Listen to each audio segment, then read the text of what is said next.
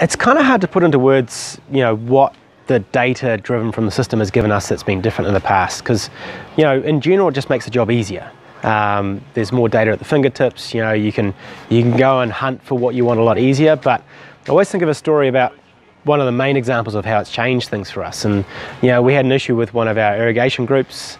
Um, the pressure was dropping, tearing our hair out. Couldn't find out why um, and really weren't looking forward to digging a whole lot of holes, a whole lot of trenches to try and find a break in a pipe. Um, and we use the AutoGrow system and the data that it generates to actually identify that on a specific day, that's when the pressure changed, on a specific day in a specific area, and we could link that straight through to the time that the, um, that the water specs guys came in and fixed a pipe. Um, and they just hadn't fixed it properly. And so within about two hours, we'd fix the problem, uh, which would have taken us God knows how much time and money. And um, I think that by itself is a great example of what data can do for you.